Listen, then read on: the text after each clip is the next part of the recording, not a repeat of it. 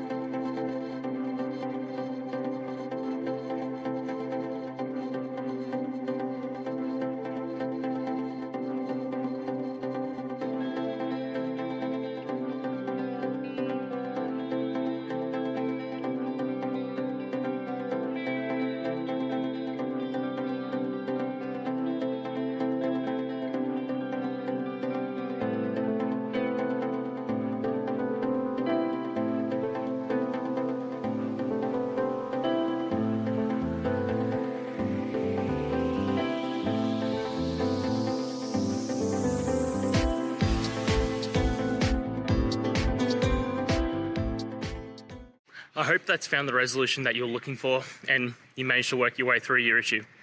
Please, if it did help, hit subscribe. I'd really appreciate it. And until the next technical time you need help, have a good one.